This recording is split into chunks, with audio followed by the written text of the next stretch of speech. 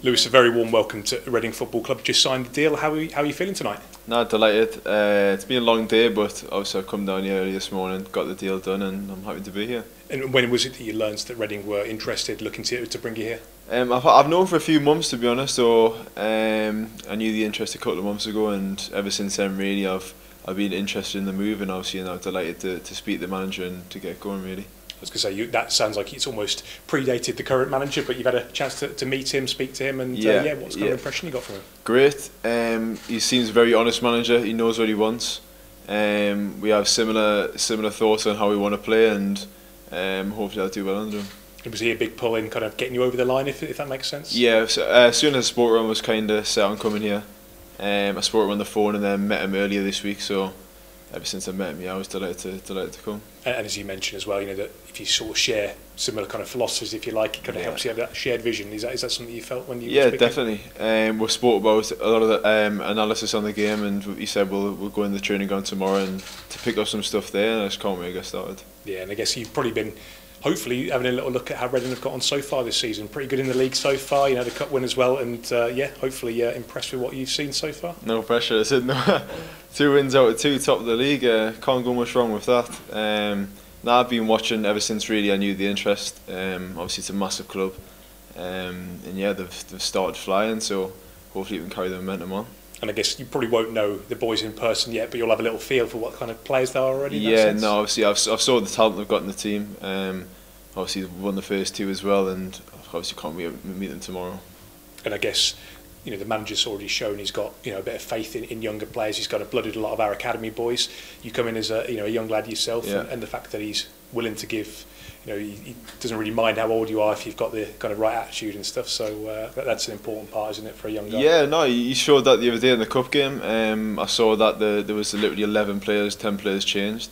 Um, it's, a, it's a long season, um, so the changing round and the the squad depth is important. So it's, it's good to see that he's, he's changing around. Tell us a little bit about you as a player. Then we know he's a centre half. What kind of what kind of centre half are you? There's a lot of different styles, aren't there these days? Uh, I would say calm, composed. Um, I like getting on the ball, like playing from the back. But then I love the defending. I love putting body on the line, keeping clean sheets. So it's the most important thing, and getting three points. You out and out centre half. You a bit versatile as well. I've played left back. Um, I'm mostly a centre back, but yeah, I can I can play there. Obviously, if the team needs us, that's no problem and of course there is some good competition in that centre half role. I guess that's uh, something you'll hopefully thrive on and you know yeah. look to put the pressure on the boys who've been here a little while, the young guys, the, the more experienced heads as well. Yeah, no, of course. I think anywhere you're going now in the championship, obviously the squad depth, like we touched on before, is, is big. Um, if you want to get out, get out of the league and go higher, you need to have a lot of talented players, and that's what we've got here. So, yeah, I can't wait for the challenge. And if we can have a little look at your kind of career so far, before we sort of talk about club football, got to look at your international as well. You've been involved in the England setup since a young age, and, and of course came home from uh, from India was it with a World Cup medal? yeah, oh, yeah, uh, great experience. Uh, a mad one to be honest, India. Um, but yeah, it was a, an experience to look back on with with good memories, and it was it was great to to have under my belt. And to be playing with such you know, players who have you know, kind of stepped up, if you like. I think players like Phil Foden, Foden was in that team, Callum Hudson-Odoi, you know, you were sort of really good talents and stuff. So I, I guess you've been learning a lot even since yeah. a young age about you know what it takes to, to the, kind of make it. Yeah, the, the talent in that team was, was unbelievable. Really, you see you see everyone now doing well for themselves.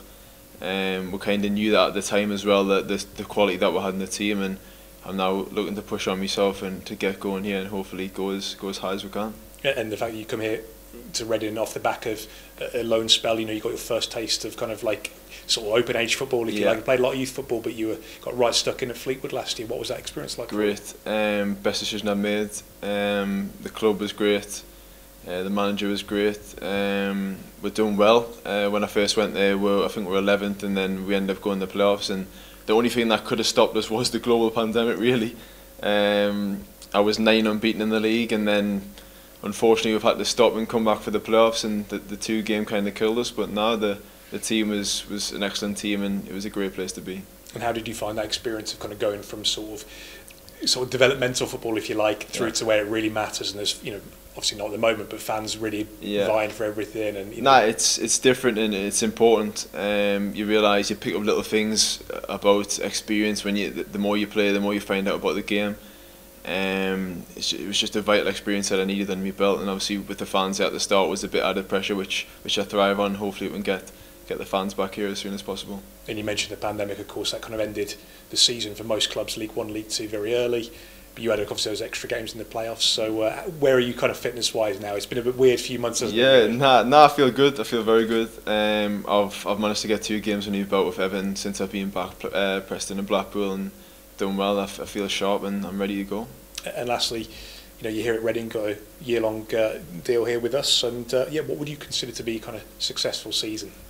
Um, I wouldn't say anything really in my mind at the moment, um, as high as possible. Um, I know obviously last year wasn't the best of years, but we know the talent in the team, we know the, the size of the club, uh, we know where we want to be, and it's just about putting that in place. And obviously, if I got off to a great start, and we're just going to keep the momentum, keep going forward, and go as high as possible.